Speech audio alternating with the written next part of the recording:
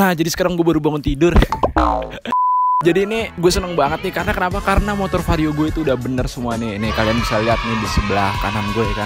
Vario gue sekarang udah bener nih. Udah gue upload juga kan video tentang pemasangan di bengkel Hondanya. Nah sekarang nih gue mau ngebahas nih apa aja sih yang udah diganti nih. Hasilnya tuh gimana gitu. Kalau kemarin kan di video yang pasang body itu gue belum sempet kasih lihat ke kalian ya gimana hasilnya setelah dipasang. Nah jadi di video kali ini nih gue mau kasih lihat ke kalian semua nih part-part yang KW tuh yang merek VR. Gimana nih kalau dipasang di Vario 125 LED terus apa aja terus gimana nih hasilnya nih? Pokoknya kayak gini deh. Ini semuanya udah diganti semua nih. Pokoknya udah beres lah semuanya. Udah udah no minus gitu. Yo no minus terus kemarin juga besi ecunya akhirnya gue ngelas ya kan? Terus barusan nih gue juga baru selesai nyuci motor. Jadi motornya udah motornya udah mandi kan? Mandi wajib.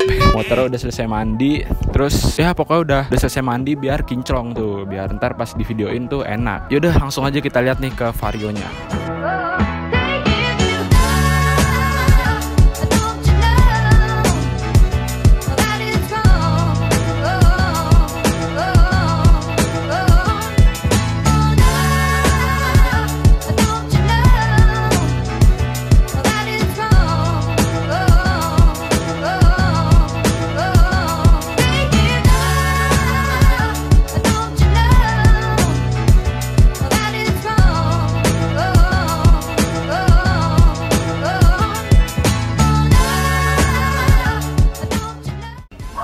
Nah gini nih sekarang gue udah ganti kamera jadi gue yang megang nih. Sorry ya kalau ada suara suara-suara hewan gitu ya kan? Suara hewan atau enggak suara angin gitu. Kalau ini sore-sore lagi spoi-spoi kan? Yaudah yuk kita langsung aja bahas nih. Setelah diganti Nih kita bahas dari yang paling atas dulu ya kan nih. Yang paling atas nih pertama gue udah ganti spion nih kan nih. Ganti spion nih kalau kalian bisa lihat nih. Ya pasti bisa lihat lah ya.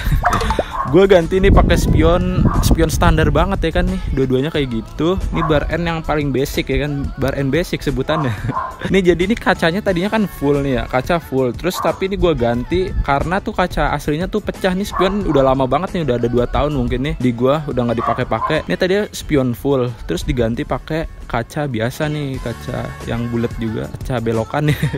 Kaca belokan itu gue ganti yang kayak gini ini standar banget nih. Soalnya spion yang kemarin kan itu udah patah terus gue belum beli spion lagi. Jadi gue masih bingung nih ke depannya nih modif motor gue tuh pengen pakai spion apa gitu. Entah itu bar N lagi atau spion tomok lah atau spion apa. Gue pokoknya masih bingung makanya ini buat sementara biar gue pakai spion lah ya biar kayak anak racing juga ya kan.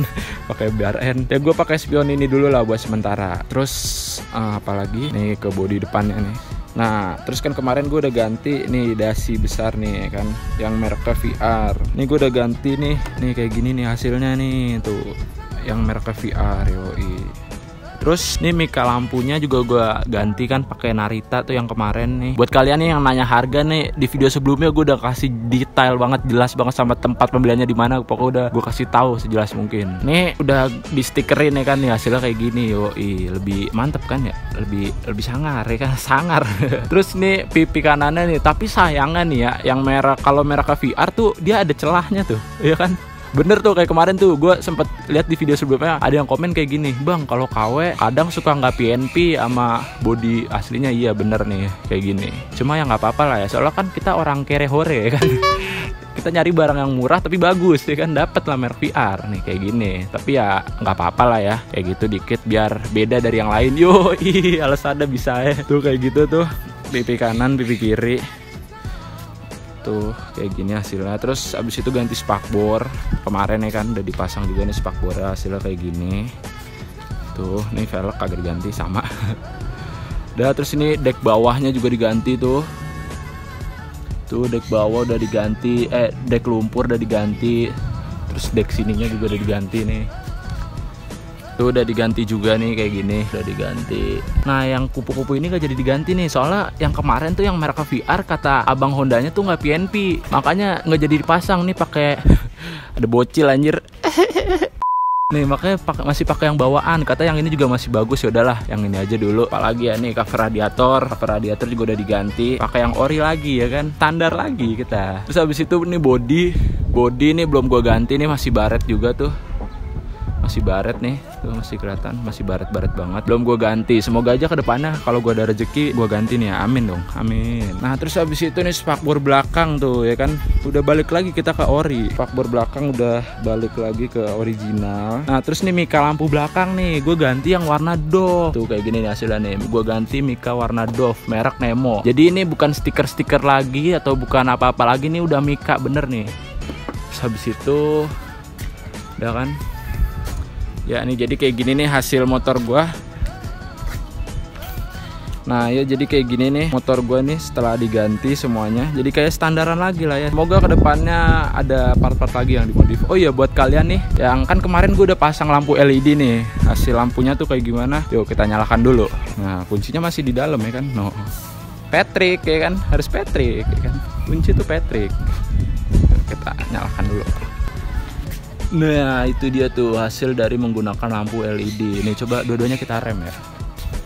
Nah kayak gini nih hasil dari menggunakan lampu LED Tuh kayak gitu. Mantap ya Terang juga. Set Yo ih mantep lah Bang nyalain knalpotnya dong bang. Penasaran suaranya. Tar aja nih soalnya masih di dalam komplek ya kan? Udah sore-sore juga udah mau maghrib. Masa berisik sih nggak enak sama tetangga ya kan? Tar aja ntar gue buatin video khusus tentang si knalpot Tenang aja tenang. Oh ya lampu depannya gimana bang? Terang nggak tuh? Kalian bisa lihat lebih terang lah ya. Agak gelap sedikit. Nah jadi segini saja nih hasil modifan dari gua. Ada yang udah dimodif tuh knalpot, terus mika lampu belakang, LED, lampu rem, terus piringan rem depan, velg dua-duanya diwarnain, terus mika lampu depan sama spion. Dah cuma segitu saja nih yang baru gue modif. Nah mungkin gitu saja tuh video yang tadi udah gue bahas lah secara detail ya kan? Yoi secara detail. Ya kayak gini nih ini masih polosan ya kak. Masih masih polosan ya kan? Yang gue modif-modif tuh baru dikit. Gue ke depannya juga masih bingung nih mau modif apa lagi nih tentang ini motor kayak konsep keduanya tuh gimana. Kalau konsep pertama tuh kan yang di video sebelumnya tuh tuh kan kayak kebanyakan stiker lah atau apalah gitu. Gue pengen modif nih. Gue masih bingung soal mau modif apa lagi. Entah itu baby look lah tie look lah yoi tai look ya kan? Atau racing lah atau ah apalah pokoknya gue masih bingung nih. Mungkin kalian ada saran nih kayak misal bang ganti spion aja atau bang ganti rizoma ya bang ganti pelek bang ganti ini. Pokoknya kalian komen aja nih di bawah di motor ini pengen gue pasangin apa. Entah itu knalpotnya bang ganti knalpot ini bang. Pokoknya komen aja di bawah komen. Komen aja di bawah sesuka kalian nih. Mau misal bang ganti velg ojet yoi Vario pakai velg ojet siap. Mana ada ya kan? Ada sih kayaknya. Ya udah pokoknya kalian tinggal komen aja di bawah. Motor gue tuh pengen dimodif kayak apa lagi komen aja langsung di bawah. Yaudah mungkin segitu saja video gue nih. Thank you banget buat kalian yang udah nonton. Thank you banget buat kalian yang udah nungguin juga nih dari awal motor gue crash ya kan? Udah nungguin bang kapan masang bodinya? Bang kapan motornya kelar? Nih sekarang udah kelar ya udah. Semoga kalian suka sama video ini dan jangan lupa untuk like comment dan subscribe tentunya. See you guys. Jangan lupa juga untuk follow IG gue ya. Yuhu.